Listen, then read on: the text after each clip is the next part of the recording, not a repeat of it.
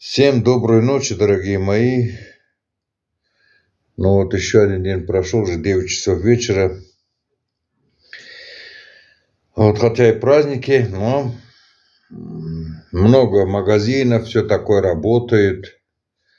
Вот, даже мастерские. Вот я отнес сейчас старый телефон, мне надо было, а то телефон что-то глючит, работает. Вот, я делами занимался. Ну, завтра вот праздник детей. Завтра праздник детей и 23 э, число. Ну, я думаю, что с понедельника уже рабочие дни, думаю, начнутся. Вот. Ну, спасибо большое за комментарий, за мой утренний ролик. Есть и комментарии, которые, как бы скажем так, не особо меня это, но я отвечу тоже на это. Это комментарий Клавдии Николаевны. А, это очень хорошо, что вы патриот своей страны. Вот. Каждый человек должен быть патриотом своей страны. Вот.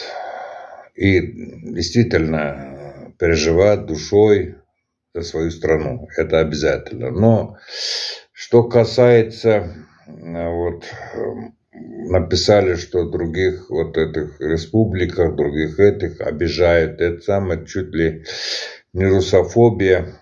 Я вообще слово русофобия я услышал, честно, я вам скажу, вот здесь, от э, последней вот это, потому что российский канал я включил, там вот это депутаты, политика разного уровня. Я вот для меня это слово незнакомо. Почему? Потому что прожив здесь 9 лет, я не видел, чтобы кого-то здесь, в Турции, по национальным признакам обижали. Наоборот, недавно был даже ролик, э, кстати, в русскоязычной группе в Фейсбуке, когда один из наших соотечественников прямо в большом маркете обзывает э, местных жителей Ч. Ну, знаете, да, я не буду говорить это. И русские женщины порядочные его, короче, на место ставят. Ты что, говоришь, здесь такое говоришь? Вот. В наших среднеазиатских республиках, вот, Туркменистане, Узбекистане, я не могу сказать вот, Таджикистан, потому что я там, это самое, я их не, вот это не знаю, сколько там, ну, все равно там живут тоже, наверное, русские.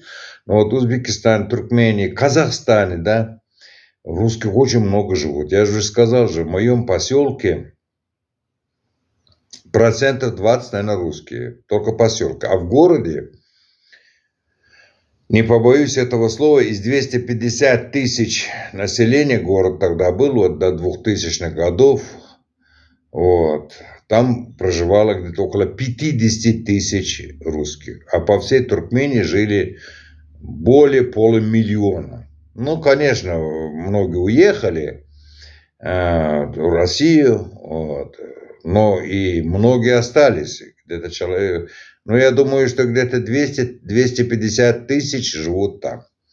И что я хочу сказать, никогда не было такого даже слова, чтобы кого-то по национальному... И сейчас также.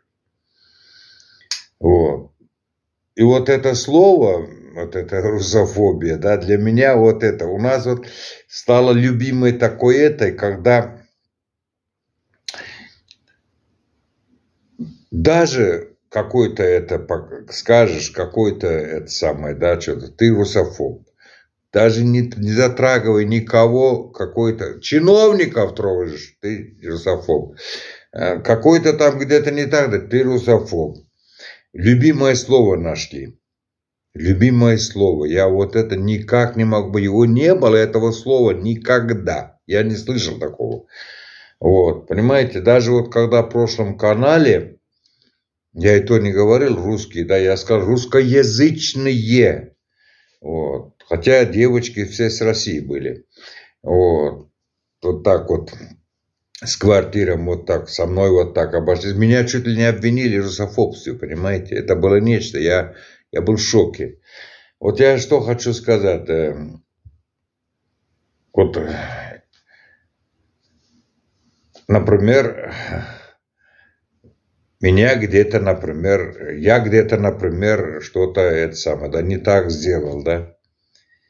Вот. Но это я сделал. Нация моя ни при чем. И что я должен везде кричать туркменофобия? Или узбек где-то что-то сделал, да? Узбекофобия?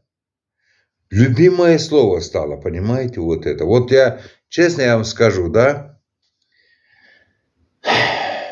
политики вот эти 30 лет после распада СССР, многие делали себе э, карьеру именно вот на национальном этом. Именно вот на национальном, на подчеркивании национального величия кого-то, это самое. Это был любимый козырь, любимый козырь большинства политиков. И большинство даже не скрывает об этом. Не скрывает, откровенно говорят. Вот. И с высоких трибун, и политических шоу по телевизору, когда смотришь, волосы дыбом стоят. И вот про то, что про сеяние межнациональное, это они сеют.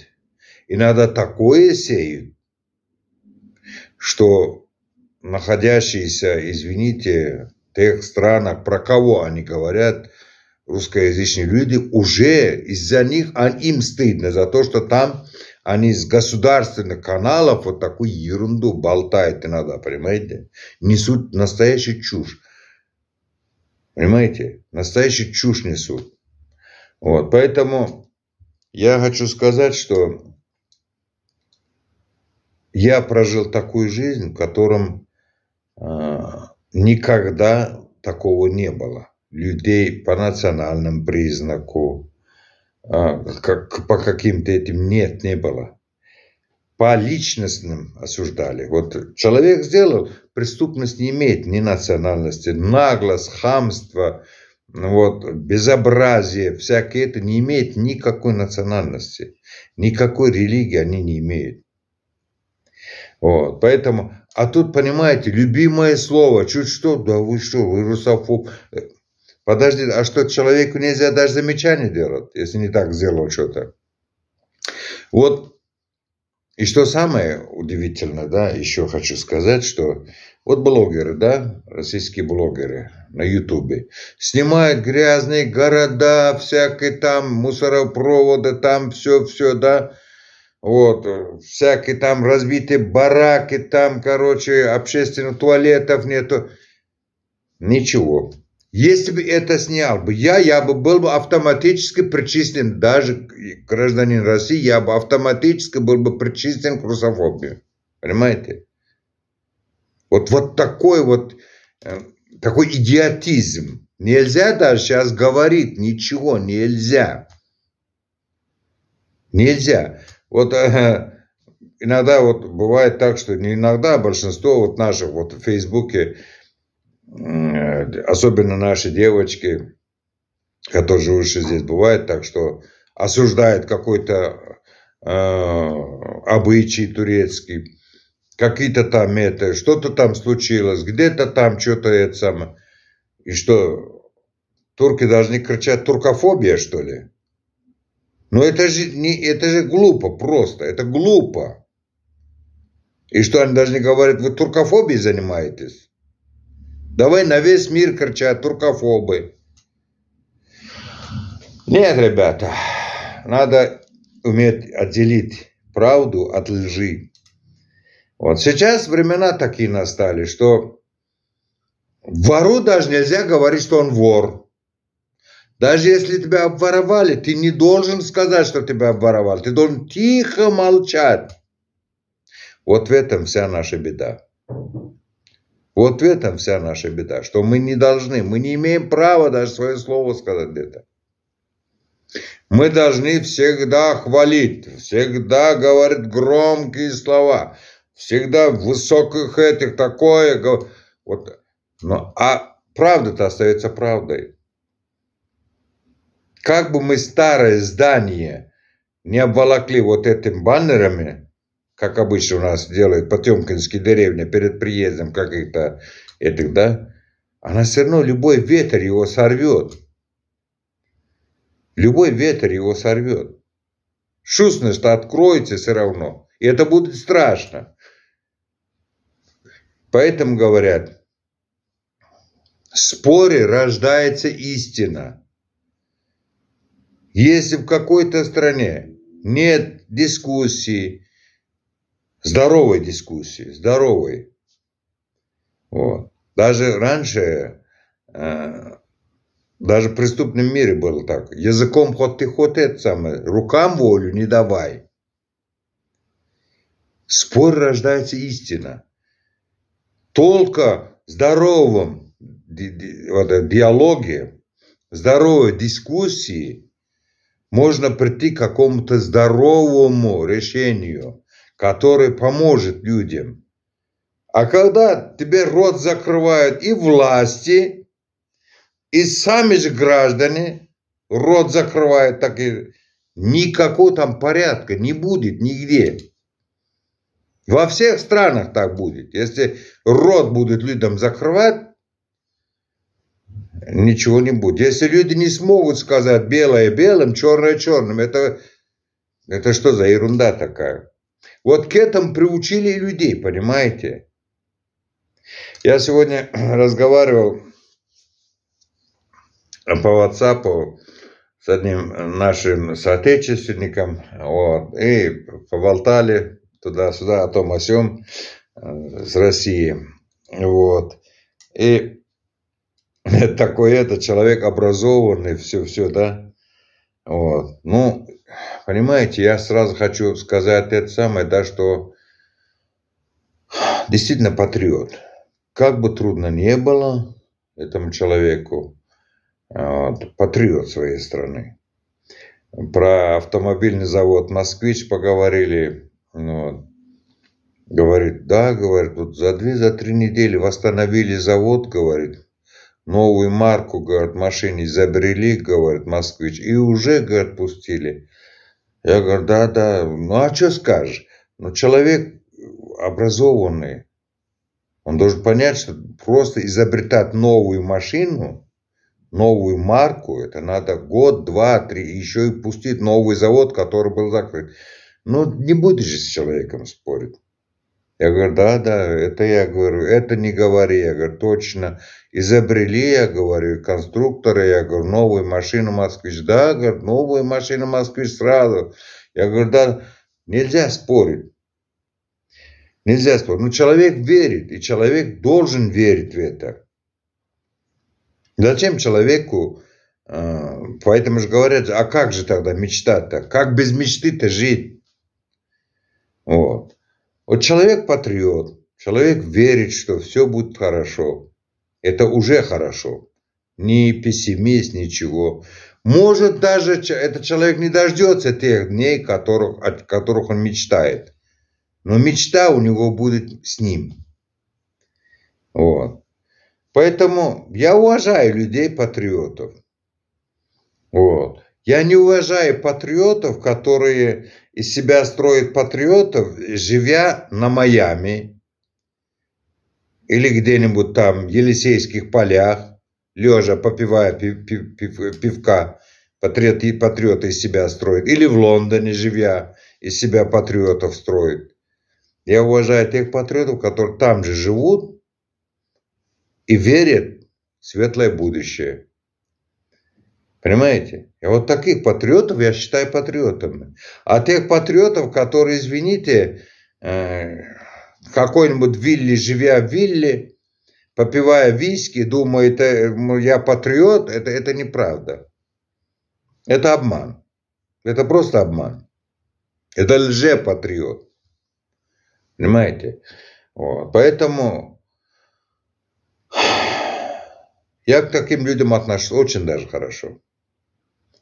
И никогда я им не навязываю свое это. Никогда. Я говорю, да, все нормально будет. Человек должен верить в что-то хорошее. Ибо потому что без надежды не жизнь. Даже если ты знаешь, что то, что человек этот мечтает, не будет никогда, не надо убивать мечту другого человека. У меня очень много соотечественников, которые живут, работают, кто легально, кто нелегально в Стамбуле. Даже говорят, по последним данным, даже, даже говорят, около двух миллионов. Я не знаю, насколько это, но я видел, что их огромное количество. Кстати, и туркмены там есть, которые с туркменским гражданством, и русские с туркменским гражданством. И нормально все. Потому что э, трудная жизнь национальность, религию не выбирает. Все в одном котле варимся. Понимаете? Все в одном котле варимся. И вот они тоже надеются, что когда-нибудь будет все хорошо. Что все нормально. А почему это самое? Человек верит. Человек верит, что все будет нормально. Значит, этому человеку мечту не надо это самое. Даже этот человек уже 10-15 лет дома не был. Дома не был. Долгие годы дома не был. Не видел даже ни своих детей, ни своей жену. Дети уже без него выросли.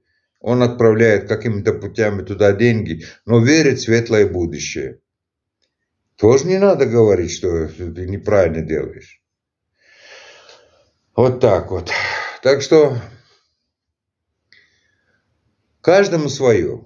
Кто-то выбирает такую же. Вот я смотрю иногда